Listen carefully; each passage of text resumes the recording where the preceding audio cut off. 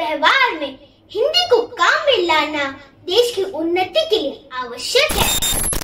नमस्कार दोस्तों, आज मैं आपको वह कुछ बातें बताने जा रही हूँ, जो हमारे देश में हर साल मनाए जाने वाले हिंदी दिवस के पीछे की कहानी है। हिंदी दिवस 14 सितंबर को मनाई जाती है, और यह दिन हमें राष्ट्रीय भाषा हिंदी को समर्पित है।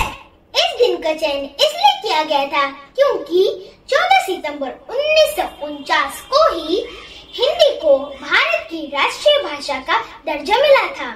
हिंदी दिवस का मुख्य उद्देश्य है राष्ट्रीय भाषा के महत्व को सबके सामने लाना और इसके महत्व को बढ़ावा देना।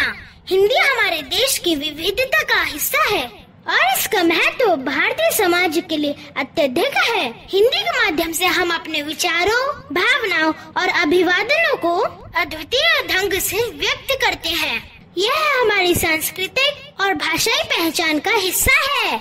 इसकी महत्वपूर्ण भूमिका है भारतीय समाज के निर्माण में। इस दिन के माध्यम से हम सभी को याद दिलाते हैं कि हिंदी भाषा हमारे एकता और अखंडता के प्रतीक के रूप में हमारे बीच में है।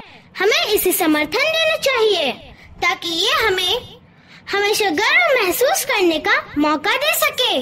इस वीडियो के माध्यम से मैं आप सबसे अपील करती हूँ कि हम सब हिंदी के महत्व को समझें और इसे अपने जीवन में एक महत्वपूर्ण भूमिका दे। हम सभी मिलकर इसे और भी महत्वपूर्ण बना सकते हैं और हम इसे बढ़ावा भी दे सकते हैं।